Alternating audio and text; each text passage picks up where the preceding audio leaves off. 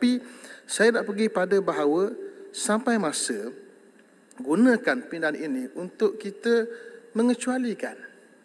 Kerana ia melibatkan pendapatan rakyat yang perlu keluar. Yang rakyat keluar hari ini kerana pelbagai sebab. Yang keluar negara menerusi udara kerana levy perluasan melibatkan keluar negara menggunakan udara. Keluar kerana faktor pekerjaan. Keluar kerana faktor keluarga. Keluar kerana faktor pelancongan ibadah.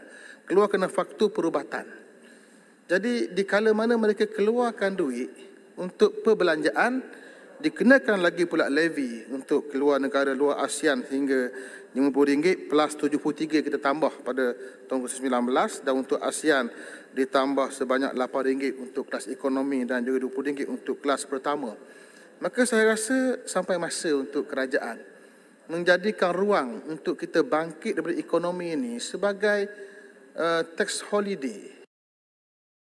Ini waktu rakyat menikmati pelepasan cukai yang banyak untuk mereka bangkit. Dan kerajaan untuk mendapat pendapatan, kerajaan perlu ambil daripada sumber yang memberi bersifat ekonomi, bersifat uh, memberi income pada kerajaan yang memberi, pendapatan bukan daripada perbelanjaan rakyat. Ini, ini pandangan yang saya rasa perlu saya lontarkan di sini.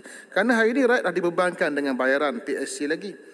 Dan akhir-akhir ini kita tahu semua bahawa kos tiket semua melambung tinggi yang biasa keluar negara hanya sekitar mungkin kalau ke Turki sekitar 3 4 ribu sekarang 6 ribu 7 ribu untuk kelas ekonomi bisnes sampai 18 ribu Erti inilah masa dia untuk kerajaan memberi ruang untuk rakyat bernafas tangguh sekejap aktiviti cukai ataupun levy yang kita kena rakyat dan ambillah ruang lain untuk kita mengambil pendapatan bagi negara kita. Saya menyokong. Terima kasih.